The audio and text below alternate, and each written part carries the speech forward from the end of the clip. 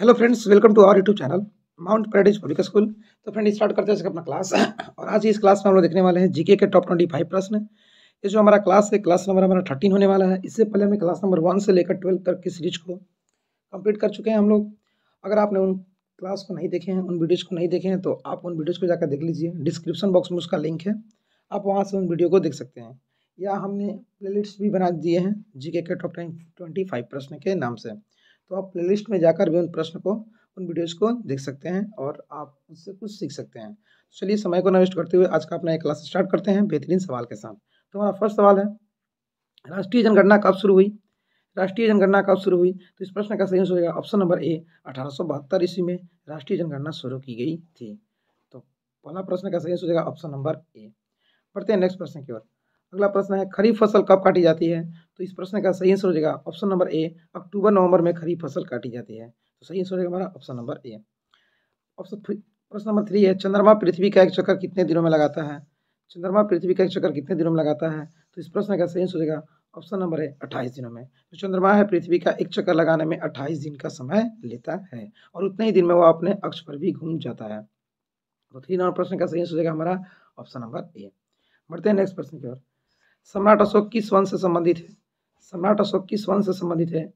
तो सम्राट अशोक मौर्य वंश से संबंधित थे। तो इस प्रश्न का सही हो जाएगा ऑप्शन नंबर ए बढ़ते हैं नेक्स्ट प्रश्न की ओर।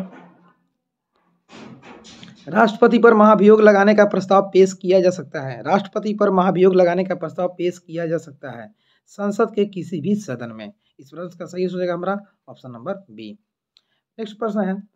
जब किसी धातु को गर्म किया जाता है तो उसका घनत्व क्या हो जाता है? जब किसी धातु को गर्म किया जाता है तो उसका घनत्व क्या हो जाता है? तो जब किसी धातु को गर्म किया जाएगा तो उसका घनत्व हो जाएगा कम। क्या हो जाएगा? उसका घनत्व हो जाएगा कम। तो इस प्रश्न का सही हो जाएगा ऑप्शन नंबर सी।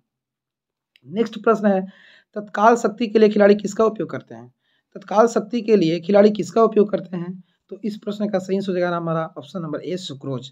Sucrose का उपयोग करते हैं कौन? तत्काल शक्ति के लिए खिलाड़ी लोग, ताकि उनको क्या मिले? उनको एनर्जी मिले। उनको एनर्जी मिले। तो तत्काल शक्ति के लिए खिलाड़ी सुक्रोज का उपयोग करते हैं। तो इस प्रश्न का सही आंसर हमारा ऑप्शन नंबर ए नेक्स्ट प्रश्न है, रक्त अल्पता निम्नलिखित में से किस विटामिन की कड़ी के कारण होता है? रक्त अल्पता निम्नलिखित में से किस विटामिन की कमी के कारण होता है? तो इस प्रश्न का सही आंसर हो जाएगा हमारा option number B vitamin B बारह। विटामिन बी बारह की कमी कारण मनुष्य के शरीर में रक्त अल्पता की क्या होती है? बीमारी उत्पन्न हो जाती है। तो इस प्रश्न का सही आंसर हमारा ऑप्शन नंबर बी बढ़ते हैं नेक्स्ट प्रश्न की ओर। पानी की अस्थायी कठोरता को दूर किया जा सकता है। पानी की अस्थायी कठोरता को दूर किया जा सकता है किसके द्वारा? तो जो पानी की अस्थायी कठोरता है उसको जियोलाइट से दूर किया जा सकता है। तो इस प्रश्न का सही आंसर हो जाएगा हमारा ऑप्शन नंबर बी नेक्स्ट प्रश्न है, किसने भारत की समुद्री रास्ता खोजा? किसने भारत की समुद्री रास्ता खोजा? तो वास्को डिगामा ने सन चौदह सौ अंठानवे ईस्वी में भारत की समुद्री रास्ता की खोज की और खोज करते करते वो कहाँ आया? तो खोज करते हुए आया था वो केरल के कालीकट तट पे। कहाँ पे आया था? केरल के कालीकट तट पे आया था। तो इस प्रश्न का सही सोचेगा हमारा ऑप्शन नंबर ए पढ़ते हैं नेक्स्ट प्रश्न की ओर। अगला प्रश्न है, विश्व का सबसे बड़ा धर्म कौन सा है? विश्व का सबसे बड़ा धर्म कौन सा है? तो विश्व का सबसे बड़ा धर्म ईसाई धर्म है। तो इस प्रश्न का सही सोचेगा ऑप्शन नंबर डी बढ़ते हैं नेक्स्ट प्रश्न की ओर। अगला प्रश्न है चतुर्थ बौद्ध सम्मेलन किसके शासनकाल में हुआ? चतुर्थ बौद्ध सम्मेलन किसके शासनकाल में हुआ? तो चतुर्थ जो बौद्ध सम्मेलन था, यह कनिष्क के शासनकाल में संपन्न हुआ था। तो इस प्रश्न का सही जाएगा ऑप्शन नंबर सी। बढ़ते हैं नेक्स्ट प्रश्न की ओर। अगला प्रश्न है, चालुक्य शासक पुलकेशिन द्वितीय ने किसे हराया था? कर है कि चालुक्य शासक पुलकेशिन द्वितीय ने किसे हराया था? तो इस प्रश्न का सही आंसर हो जाएगा हमारा ऑप्शन नंबर हमारा क्या हो जाएगा? तो ऑप्शन नंबर हो जाएगा सी चलो, हर्षवर्धन को, जो चालुक्य शासक पुलकेशिन द्वितीय थे, उन्होंने हर्षवर्धन को युद्ध में पराजित किया था। तो इस प्रश्न का सही आंसर हो जाएगा हमारा ऑप्शन नंबर सी बढ़ते हैं नेक्स्ट प्रश्न की ओर। अगला प्रश्न है, राइडर कप का संबंध किस खेल के साथ है? राइडर खेल का, राइडर कप का संबंध किस खेल के साथ है? तो राइडर जो कप है, इसका संबंध हो जाएगा हमारा गोल्फ से। किससे हो जाएगा? राइडर कप का संबंध हमारा हो जाएगा गोल्फ से। तो इस प्रश्न का सही आंसर हो जाएगा हमारा ऑप्शन नंबर बी। बढ़ते हैं नेक्स्ट प्रश्न की ओर। अगला प्रश्न है, निम्न में से कौन सा संगठन सबसे पुराना है? निम्न में से कौन सा संगठन सबसे पुराना है? आपका ऑप्शन नंबर ए है आई एम एफ़, दूसरा है डब्ल्यू एच ओ, या तीसरा है आई एल ओ, या डी है एफ़ ए ओ। तो इस प्रश्न का सही आंसर क्या हो जाएगा? तो इस प्रश्न का सही आंसर हो जाएगा हमारा option number C I L O जो आई एल ओ है, विश्व का सबसे पुराना संगठन है। तो फिफ्टीन प्रश्न का सही आंसर हो जाएगा हमारा ऑप्शन नंबर सी नेक्स्ट प्रश्न है, आयकर दिवस आयकर दिवस कब मनाया जाता है? आयकर दिवस कब मनाया जाता है? तो प्रतिवर्ष आयकर दिवस 24 जुलाई को सेलिब्रेट किया जाता है। तो इस प्रश्न का सही आंसर हो जाएगा हमारा ऑप्शन नंबर ए बढ़ते हैं नेक्स्ट प्रश्न की ओर। अगला प्रश्न है, सर्वाधिक बार डाउनलोड किया जाने वाला कोरोना ट्रैकिंग ऐप कौन सा है?